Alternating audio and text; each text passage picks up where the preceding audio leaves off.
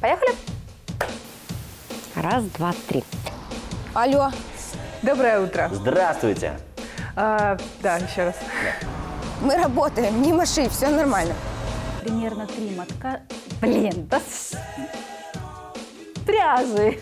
Три мотка пряжи, Оксана, берем. Докажем, что у лысых очень много преимуществ. Вот уже звонит один лысый. Привет, кто это? Многие из нас... Сейчас, из нас. И энергозатратность повышается, и Поехали. Быстренько, сейчас я... э, э, сейчас. Познакомиться поближе с ним вы сможете уже 20... А, 26 ноября. Ну, почти договорила.